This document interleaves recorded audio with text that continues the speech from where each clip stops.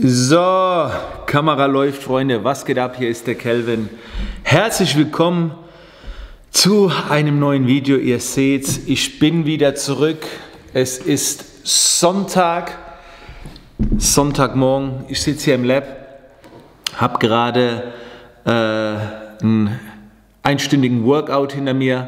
Dabei habe ich die letzte UFC Night, äh, UFC Night angeschaut. Sehr, sehr geil coole Kämpfe, waren auch ein paar langweilige dabei.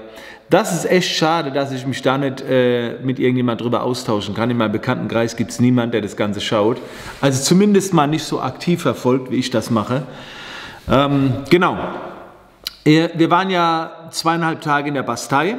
Jetzt bin ich erstmal eine Woche wieder hier. Und nächsten Sonntag geht es dann wieder, nach, äh, wieder los, und zwar nach Spanien um mit dem Inner Circle zusammen eine Mastermind durchzuführen. Wir haben, ich glaube, 12, 13 Teilnehmer. Das heißt, wir vom Inner Circle haben eine Finca und werden dort mit äh, diesen Teilnehmern zweieinhalb Tage Zeit verbringen, Learnings teilen, zusammen grillen, uns austauschen, relaxen, worauf ich mich natürlich auch schon sehr, sehr freue. Aber wie gesagt, jetzt erstmal eine Woche hier. Genau. Ansonsten, ähm, was gibt es äh, Neues? Ich habe es ja vor ein äh, paar Tagen, glaube ich, schon angekündigt, dass äh, ich jetzt mehr in den Bereich Lebensqualität gehen will. Da werde ich demnächst jetzt mit Dennis einen äh, Drehtermin vereinbaren für etwas Neueres, Größeres. Es wird die Größe der Academy haben. Es geht aber nicht, nicht im Schwerpunkt ums Business, sondern eher um das Thema Lebensstil, also Lebensqualität. Ich möchte meinen Lebensstil teilen, möchte dazu inspirieren, ähm, das ein oder andere vielleicht davon zu übernehmen, um happy zu sein. Genau. Weil das Ding ist, ich vergleiche das immer damit, dass das Business ein Spiel ist. Und das Schöne ist bei diesem Business, es verliert keiner. Es verliert aus dem Grund keiner, weil das Spiel immer weitergeht, weil es nicht endet. Und ich bin der festen Überzeugung, dass viele da draußen dieses Business-Spiel so gar nicht mehr spielen, sondern so hart durchziehen, als gäbe es ein Resultat einen Gewinner, einen Verlierer, als würde es irgendwann enden. Wir arbeiten von Resultat zu Resultat. Und das macht immer nur kurzfristig glücklich, wenn du deine Ziele erreichst.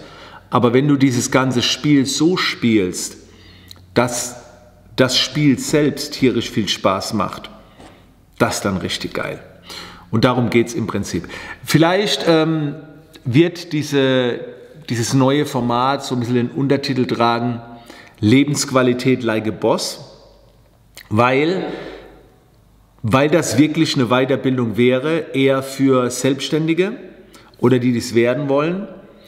Und die sind ja Bosse, also Boss vom eigenen Unternehmen, vom eigenen Business und dann Lebensqualität like a Boss. Ey, ein bisschen Wortspiel.